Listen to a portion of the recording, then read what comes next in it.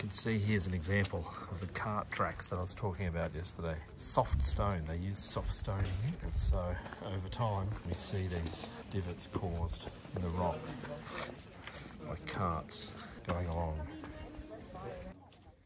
It's very clear here, you can see one and two in a line for the carts.